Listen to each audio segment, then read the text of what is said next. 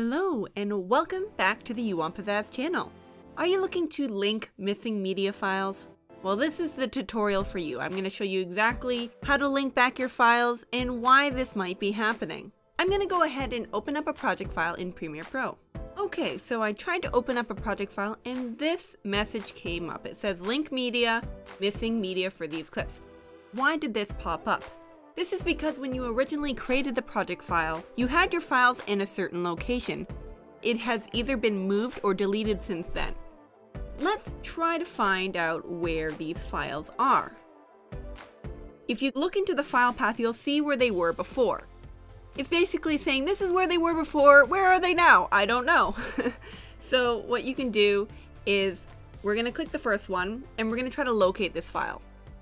Now, because I did this on purpose, I know exactly where the missing file is. I actually moved it to another folder, so let me just go ahead and find it.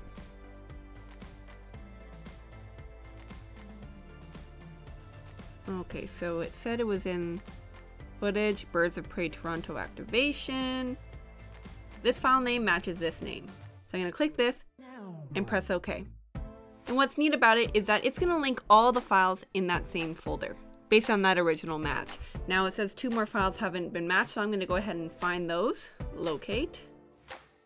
I think it's just in footage by itself. Rooftop reel, final, press OK, and those files have been matched.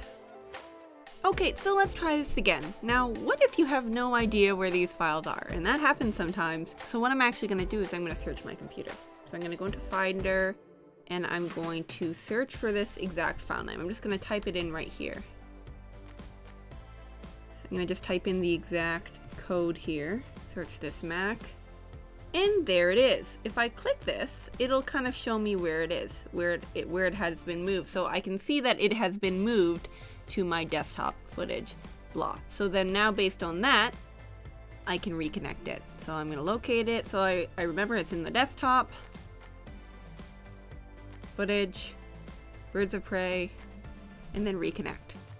So there's a couple ways of doing this. If you search for the file and you cannot find it, it could be that it's on another hard drive or maybe you deleted it by accident and that would be unfortunate.